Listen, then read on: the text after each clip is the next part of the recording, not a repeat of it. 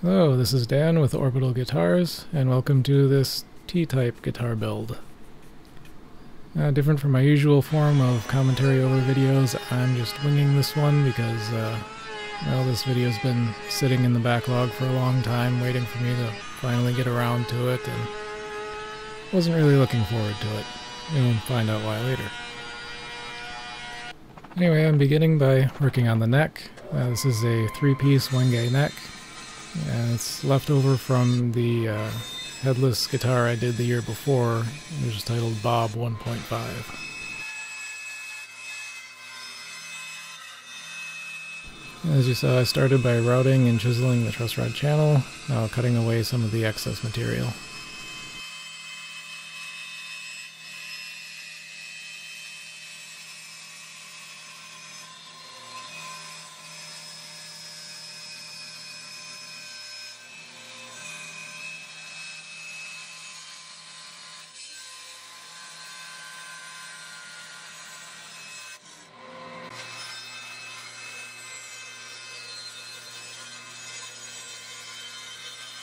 Moving on to working on the headstock shape.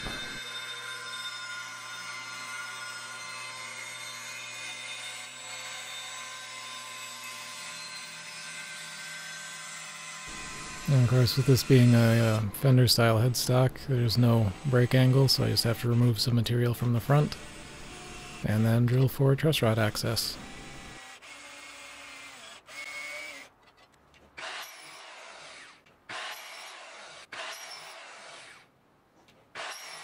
So here using my miter saw and the fret slotting saw blade to cut all the fret slots.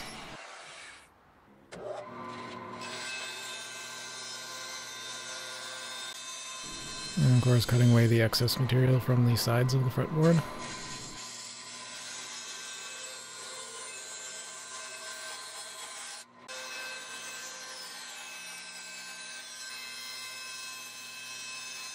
I really like this piece of kingwood that I used just because of that one bit of sapwood going right up the middle. Thought that looked really nice.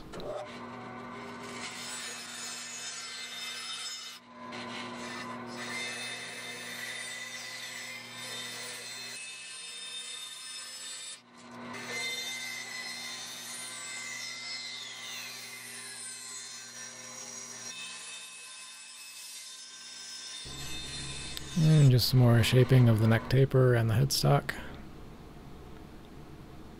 So at this point I'm ready to glue on the fretboard. Uh, both the neck and the fretboard are a little bit oversized so that I can uh, remove some more material once they're glued together and have the edges be perfectly flush. Just put in some locating pins, set on the fretboard, and clamp everything down.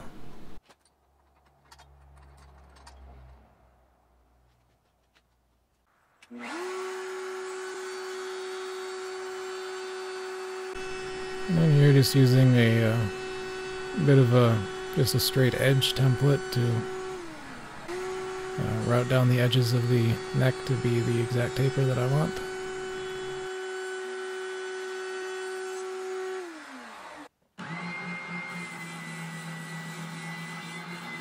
And then going to the spindle sander to refine the shape of the headstock.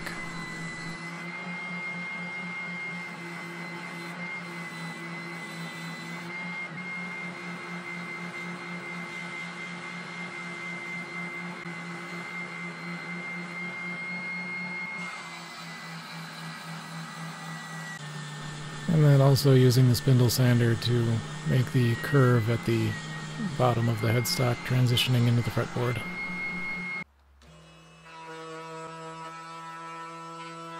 And of course I need to make a little channel for the nut, so I'm just using my Dremel with a precision router base and a little router bit in it to grind away the material in between the two slots that I cut while I was using the jig. Here for the inlay, I'm just using uh, leftover scrap of bog oak. Thought the uh, really dark brown uh, black wood was going to look nice on the more reddish purple of the kingwood.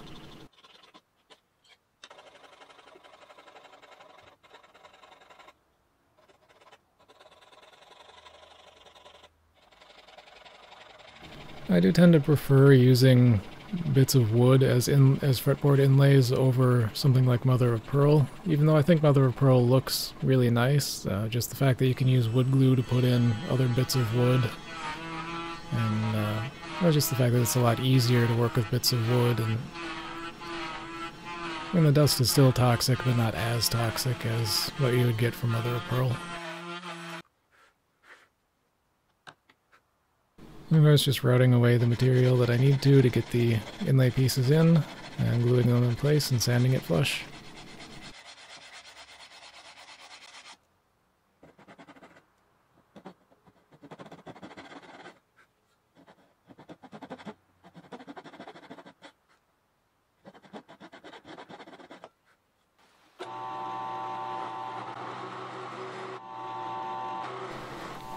At this point I decided that just the 12 thread inlay didn't look quite right on what would be essentially a Telecaster, which normally has, you know, the usual dot inlays, so I decided to add those as well.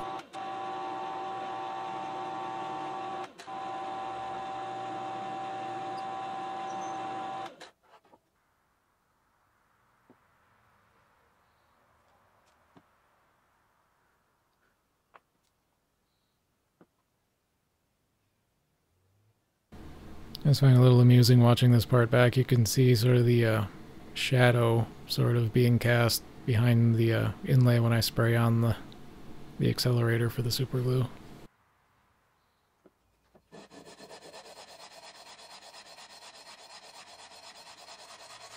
And of course sanding the rest of them flush.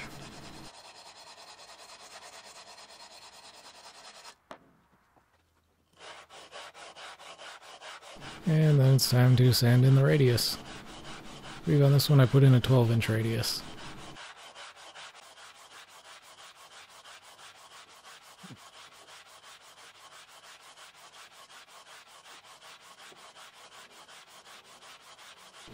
I sand this up through, I start at 80 grit, then uh, 120 and 220, uh, all with the all with the radius block, just to get the fretboard nice and smooth.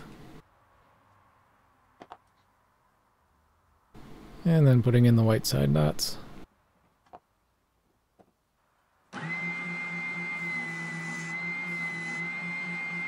And then just shaping the end of the fretboard because having it cut off just straight in just in a straight line doesn't seem um, I'm not sure what the word I'm looking for is. I, I like the look of it better this way. It looks like a... Uh,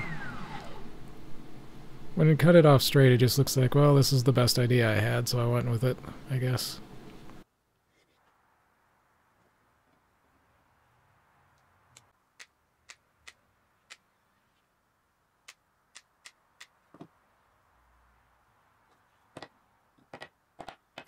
And here, putting in some uh, gold fret wire.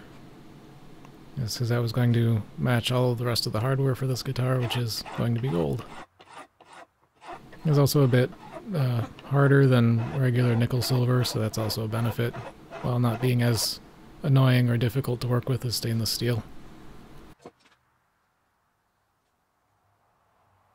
And checking the neck for straightness.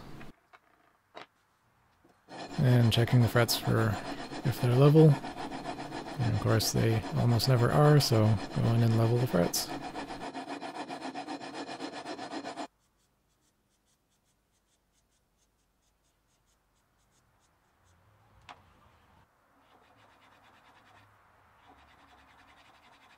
Here I've got both a uh, Z file from StewMac and a traditional uh, fret crowning file. So I like to do the initial passes with the Z file because that gets most of the work done and any little touch-ups I can do with a regular crowning file if I need to. Then going in with some 220 grit sandpaper to just smooth out any little scratches that were left behind by the files. Then I'll follow that up with some 320 grit paper, and then I'll move on to some uh,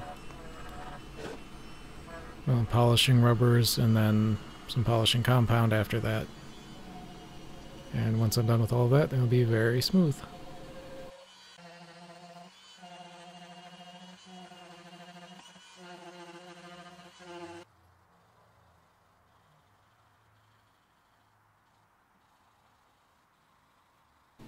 Follow that up with steel wool, and then there's the buffing compound.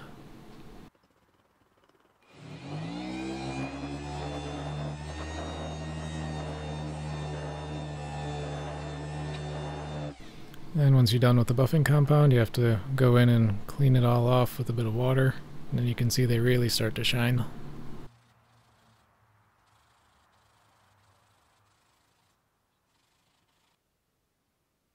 So here there are some little gaps at the end of each fret slot where I had removed the excess bit of tang, so I'm going in with some dust and super glue to fill those in. And this bit of super glue will also help to keep the fret ends in place.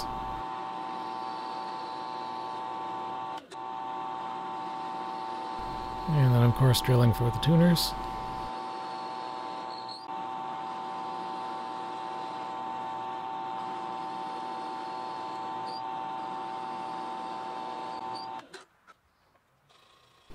And something I've started doing a lot more recently is rounding over the edges of the fretboard for improvements to player comfort.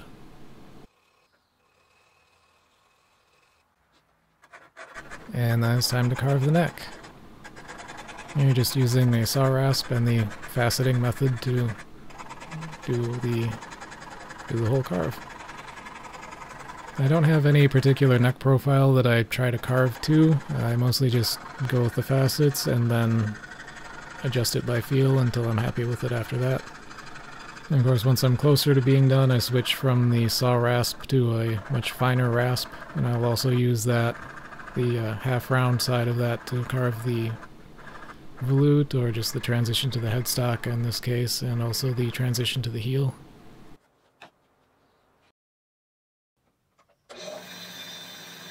And now it's time to move on to the body. So this was a big slab of extremely figured redwood. I had originally bought this slab of redwood for another build, which I'll get that video out eventually. Um, but it was thicker than I needed it to be, so what I ended up doing was uh, just maxing out the capacity on my bandsaw and uh, resawing off the top roughly quarter inch so that I could use it for the top on this build. And then here I've got some pieces of alder that I'll be using for the body.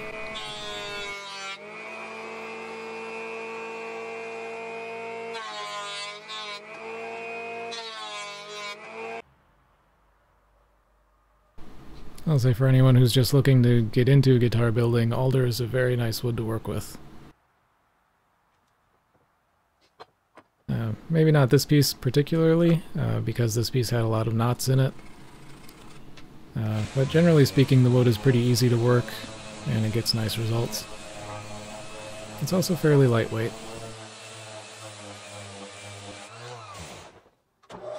Now once I've glued the pieces together and got them sanded smooth, I'm going to go ahead and cut out the shape of the body.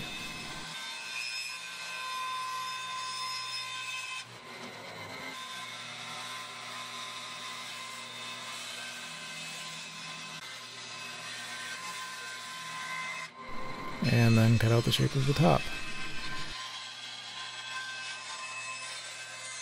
And some of the tricky things with this particular piece of redwood is that it developed a lot of cracks, uh, and it also wanted to warp.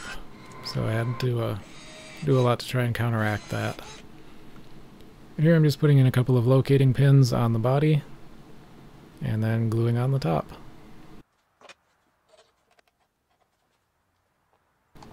And you can kind of see there, I, I knew good places to put those locating pins because I already had the layout for where a pickup was going to be, and also the other one went into where a neck pocket is going to be.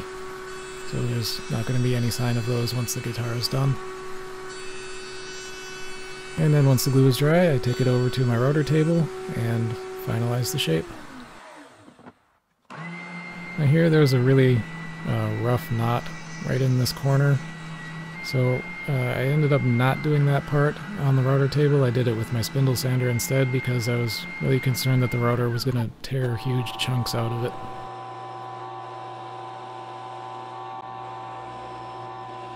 And here I'm drilling for the pickup and control cavities.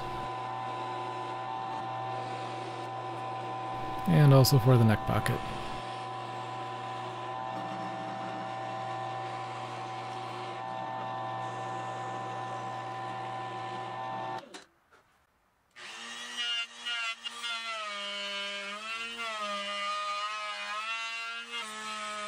Course finishing the cavities and the neck pocket with a handheld router.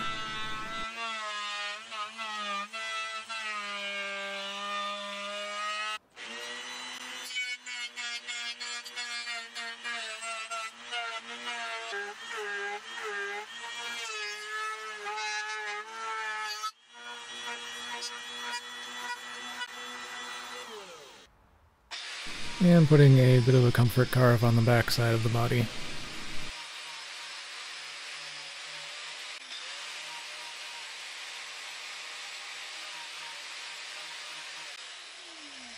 you can see I did most of the work with an angle grinder, then following it up with a half round rasp and then a much finer rasp to get the shape nice and then sand it smooth.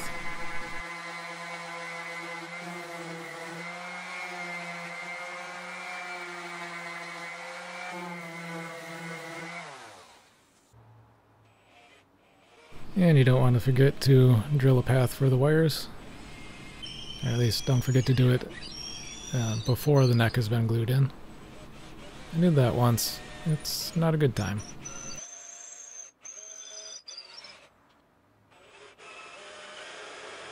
So here was a little bit awkward that the uh, the hole for the jack had to go in right next to that knot. So it was fairly tough drilling. Of course, I also like to recess my jack plates a little bit because I, uh, if it's just me, but I don't like to see them uh, sticking out from the side of the guitar. And here, just giving a gentle round over all the way around. That was a quarter inch round over bit.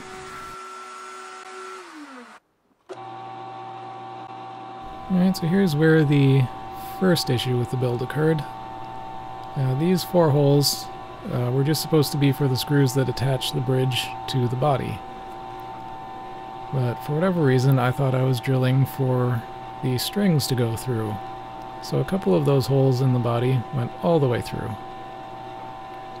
And I'll address that later.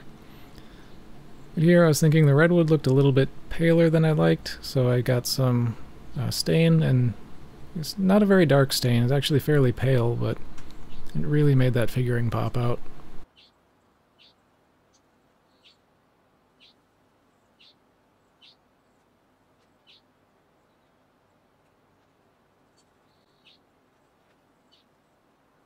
So there you can see I tried to just plug the two holes in the back that were there, but I, I thought the uh, repair stood out a little bit too much and just looked too much like a repair. So what I decided to do was put in a big decorative patch on the back of the guitar that covers this whole area.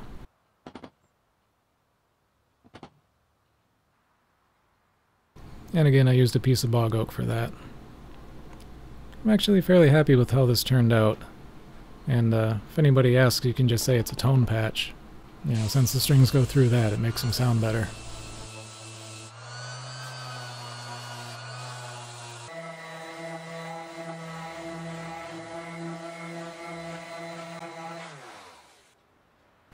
At this point I was ready to glue in the neck.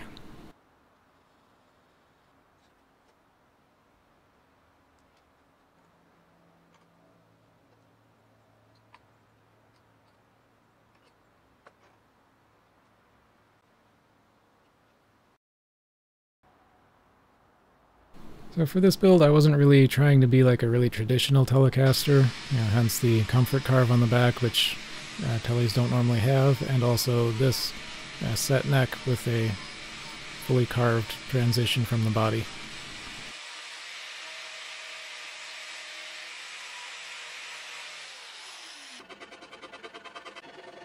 And personally, I really like doing this sort of carve to go from the neck to the body because I feel like it makes the guitar a lot more comfortable to play. So there are lots of carving, uh, an angle grinder with rasps, and then a sander to make it nice and smooth.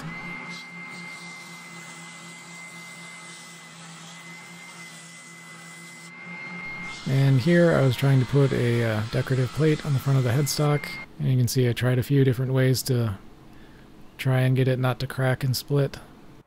Uh, mostly I just tried using water to uh, soften it up, and that mostly worked. Had to get a little bit creative with the clamping, but it mostly worked. And then here I had found out uh, the second issue with the build, that the headstock wasn't quite thick enough, so I also put a decorative plate on the back of it. And then here's where the third issue with the build occurred. Uh, so I was building this uh, in 2022, and for whatever reason, the stores that I have available to me locally were still claiming that due to supply shortages from the pandemic, uh, there was a shortage of lacquer. So I tried to use some stuff that I could find, and it did not work well. So I ended up totally stripping off that finish and switching to a polyurethane. And what happened after I did that was as you can see along the bottom of the body there, there was a weird reaction with the wood that only showed up after the new finish was applied. So it looks like a real mess there.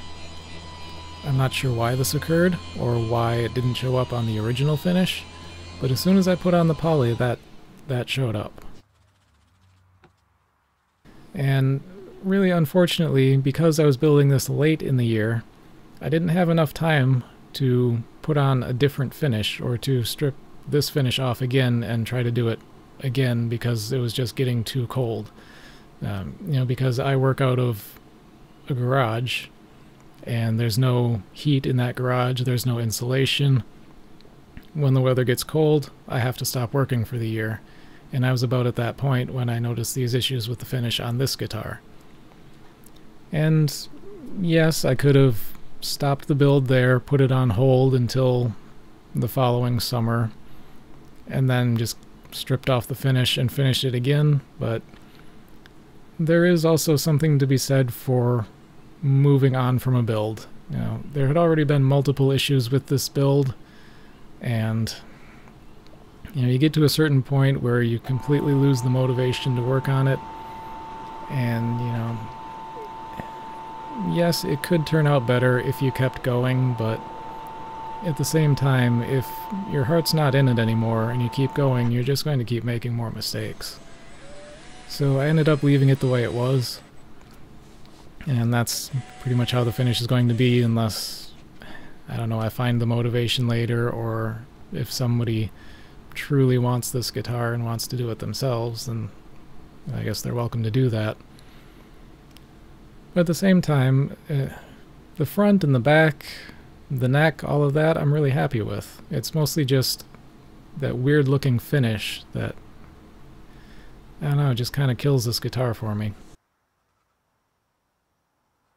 With the finish on the front, I don't know if it really comes through on camera, has like you can see the texture of the wood through it. You can see some of the little cracks in the redwood, which earlier I had tried to fill with super glue and all kinds of things to try and get this nice, like super smooth, glossy finish, but that really just wasn't working out with this wood. It didn't, it didn't want to do that. Um, but I ended up really liking how it looked actually because it's got this sort of old violin kind of look to it, which I think is really nice. You can see they're putting in a set of uh, bare knuckle pickups. These are the brown sugar set. Some really nice pickups. Of course, all gold hardware.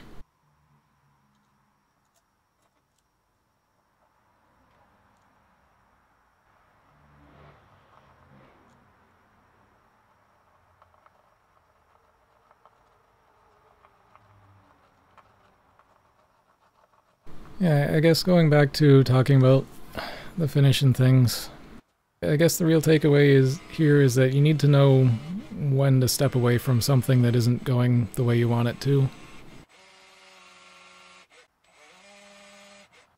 Because I'm not really sure how to phrase what I want to say, but um, it's also somewhat the curse of being a creator that whenever I look at this guitar, I can only ever see its flaws because I know every single one of them and where to look for them. And that's true of every guitar I make. I mean, th there have been a couple that came out really, really well, and my the flaws that I can see in them are so minor that I know nobody else would notice them or care because I, I barely even notice them, but it's very true that everything you make, there's going to be something that goes wrong with it. And at least for me, I can never not see the flaws.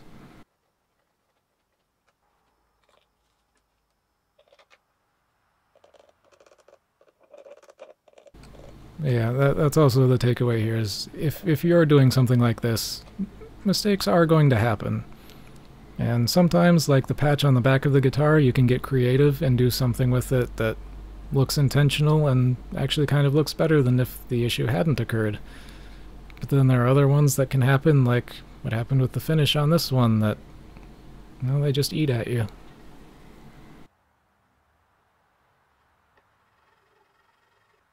Anyway, in my ramblings, a whole lot more work has happened in the video, and the, uh, the nut is just about done. I filed the slots into it, and now I'm sanding it to uh, round over the corners, make it nice and comfortable so that if a player's hand bumps into it, they don't hit a sharp edge. And then polishing it up with some Scotch-Brite pads.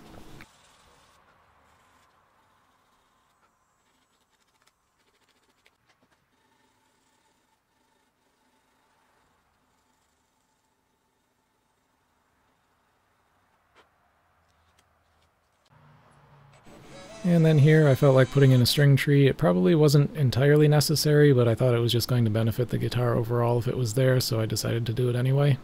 And this is a nice one with rollers.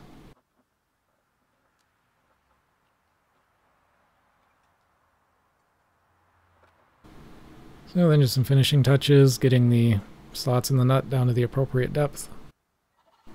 I always do this after the guitar has been strung up so that I can actually feel what the the action of the strings are and how they're sitting in the nut. If necessary, I can take the strings back off and file down the top of the nut if the uh, the slots are a little deeper than they should be. And I mean deeper from the top, not too deep to where the strings are buzzing. And then here just putting in the strap locks. And then after this we'll go on to a playing demo.